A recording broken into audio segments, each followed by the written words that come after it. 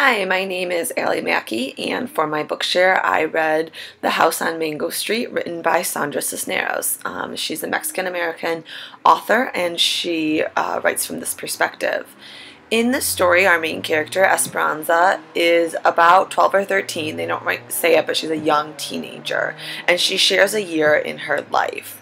She is um, Chicano, Mexican American, and she starts the story in moving into the house on Mango Street, this little red house in a very cramped suburb of Chicago in a Chicano and Puerto Rican neighborhood.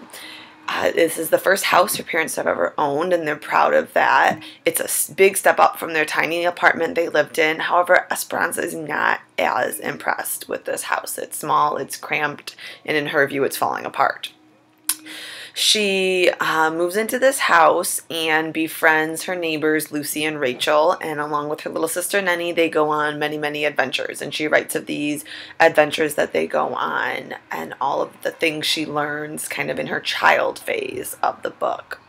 Um, she starts to mature and explore her sexuality. They wear high heels around the neighborhood. She starts to talk about getting attention from boys and begins to shift into a more adult role uh, she starts her first job and shares of an unexpected kiss from um, an older gentleman. And this is really kind of a turning point into adulthood as she learns who can be kind of unfair and the different aspects of growing up.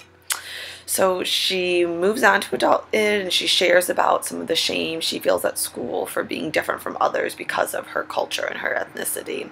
She experiences death um, of family members, and this continues to shape her view on life and kind of separate that adulthood phase from the childhood phase she once was in. She then begins to write about the older women in her neighborhood and the stories that they've shared with her, and realizes that they're kind of stuck in their situation, sometimes literally stuck within their houses. And this really heightens Esperanza's awareness of what is happening and what her future could be and what her future wants to be, and this starts her need for leaving Mango Street and her desire to become more than she is. The next school year begins, and Esperanza strikes up a friendship with Sally, who's much more mature than her previous friends Lucy and Rachel. Um, Sally tends to use boys as a way to escape from her own father, who is very abusive, and this is a change for Esperanza. She's uncomfortable with some of Sally's choices, but continues to befriend her and do things with her and this kind of culminates with an experience at the carnival in which Sally leaves Esperanza alone, and due to this alone vulnerability, she believes, um, she ends up being sexually assaulted by multiple boys, and it's a very traumatic experience for her. And this really is a turning point for her. This cements her wish to leave Mango Street for a much better life, not only for herself, but to bring it back for the other women on Mango Street. At the end of the book, Esperanza realizes that she will never be able to fully leave Mango Street because the experiences she has endured, as well as the experiences of the other women who have shared with her, will forever be a part of her, be with her. She uses writing as a way to emotionally escape from these experiences and realizes that she can continue to do that while she's living at Mango Street. And she can also use her writing as a way to escape in the future, to become more than Mango Street.